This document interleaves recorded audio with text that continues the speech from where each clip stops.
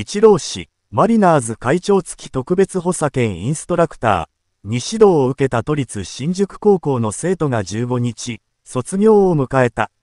2022年11月に2日間一郎氏の指導を受けた同校野球部。当時2年生だった4人の球児は、野球部引退後に受験勉強に励み、見事難関大学に合格した。辛い時期に4人を奮い立たせたのは、一郎氏からかけられたある言葉だったという。一郎氏の言葉を支えに難関大合格、中澤氏渡る首相、東京外国語大学言語文化学部言語文化学科。9、どんな3年間でした？中澤氏渡る、中澤幸也、充実した3年間だったなと、勉強、部活を全力でやってきたからこそ、こういう幸せな気持ちで卒業できる。やっぱり一郎さんが2年、生の11月にいらっしゃって、それが人生の中でビッグイベントというか、最後の夏の東東京大会4回戦の相手、共栄学園との試合は引退しても話します。力の差はありましたけど、勝てる試合だったよね、と。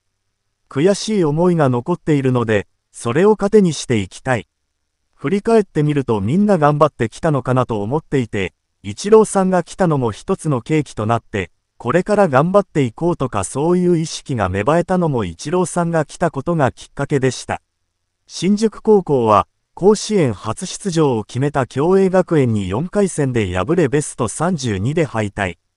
9、一番印象に残っている言葉は、中澤、一番最後におっしゃった言葉だったので、ちゃんとやってよ、は覚えています。後継も。一生懸命勉強して、第一志望に合格することができたので、ちゃんとやりました。今のところは。ここをゴールではなくスタートにして、新たな自分の人生を切り開いていけたらいいなと思います。清水大賀外野手、筑波大学体育専門学群、9、一郎さんが来た時に、その気持ちは、と質問したら、地球が滅びるぐらい、って表現していましたね。清水大が、清水大が、本当にありえない、なと思ったので、笑。本当に来てくださった時は、何が何だかわからないというのが一番で、すごく親身になってアドバイスをしてくださって、話を聞けただけ、あのオーラを近くで感じられただけで、すごく貴重な機会だったと思いました。9、人生で一番の出来事、清水、比べる対象がないので、わら、一番ですね。一郎さんに指導してもらったという野球人としての喜びもあったんですけど、その後テレビで放送されたのを見て、嬉しいだけではなく、悔しい気持ちも出てきて、ゆるいとコメントされて、引き締めていかないとダメだなと思いました。時間がないと言うんだったら、そういうところの無駄をなくそうと、厳しめに声をかけるように意識をしていました。一郎氏は部員の動きを見て、ゆるい空気が流れているのが面白いね。僕らにとっては新鮮な光景だね、とコメント。